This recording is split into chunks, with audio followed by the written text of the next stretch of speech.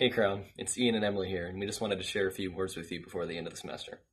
To students returning to Crown for another or quite a few more semesters, congrats on finishing another one. These days have added up to another measurable semester. My goodness, we've definitely learned more this semester than probably any before or likely any after. We've learned our fields as well as any other semester, navigating the complications of change and the hardest search for motivation that I think I've yet to find in anything. We have learned also what it is to experience real change and fast, to adjust and adapt when we don't want to, but because we need to, to see the value in the nearness of our friendships and not take a single blessing of our educational experience or any current reality for granted. We have learned to hunger and thirst for God because all else doesn't quench that and it is all subject to change. All that and more says that this semester has been a good one, a hard one, but a good one.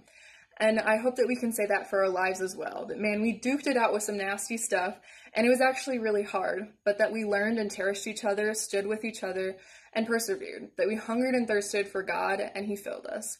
Moving forward, may God bless you in your returning to Crown, um, and then summer in the continuation of your journey. Hold tight to one another, call each other on towards these things, and keep learning. And now to our loved faculty and staff. Thank you. Those words are truly meant. We don't know half of the ways that you have persevered for us and with us during this semester.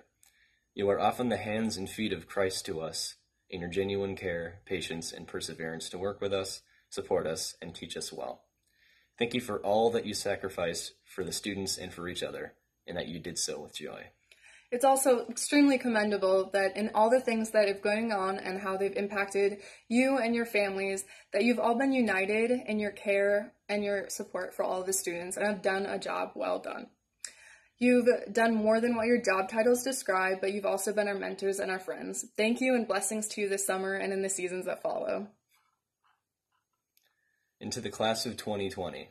I know it didn't look exactly like we thought it would, but we did it. We made it through senior year. We successfully navigated a multitude of papers, exams, discussions, debates, assignments, and the last finals week ever.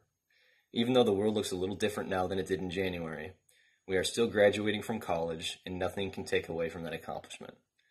In all, we have spent four years together, eight semesters together, who knows how many hours together with May 2020 in mind. We have struggled together, experienced success with each other, laughed together, cried together, and helped each other get to the finish line. Nothing, and I mean nothing, could ever take away from all the hard work we have done to get to this point, and that includes COVID 19. So be proud, class of 2020. The goal we have accomplished is great, and all that hard work has finally paid off. In 20 years, when we look back on our time at Crown, it won't be COVID 19 that we remember most.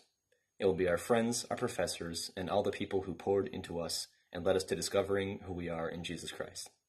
So, class of 2020, here's to you. Here's to where He is leading each and every one of you after we all go our separate ways. Here's to the faithfulness of God in leading us to Crown and leading us to where He wants us next.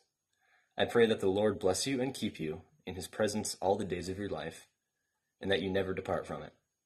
This world is still in dire need of love of Christ. So go be that love. As our college careers come to a close, and we each start the next new thing.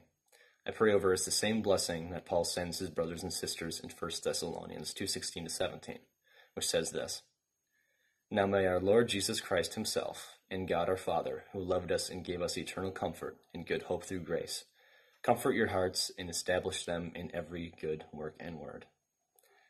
We pray over you, Crown. And we do have a song for you as well, if you want to stick around and listen. But go be love.